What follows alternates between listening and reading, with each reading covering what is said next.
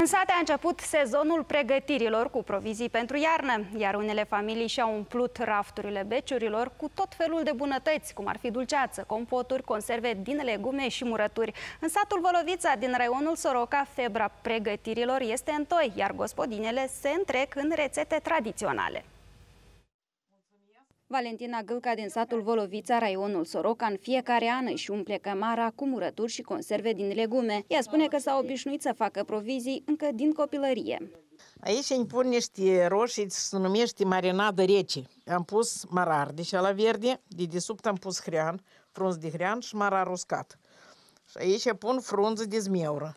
Toate, și legumele și fructele, eu tot din grădină strâng și pun. Cele mai multe rețete le-a memorat de la mama și bunica sa, iar în acest sezon estival a reușit să facă castraveți și roșii murate, zacuscă și tocane de legume din propria grădină. Iată aici am făcut chiar salată numai din roșii. Aici am făcut adjică din zarzări, ca un fel de magion pentru copturi. Dar bun chiar și pe pâine așa să mănânci.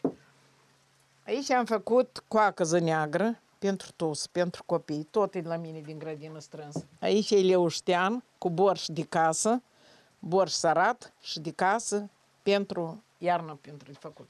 Dar aici am, am pus frunză de vie, că nu știu dacă însă am bani să cumpăr varză să-i murez, mai bine mă pregătesc frunza mea de vie și să o am.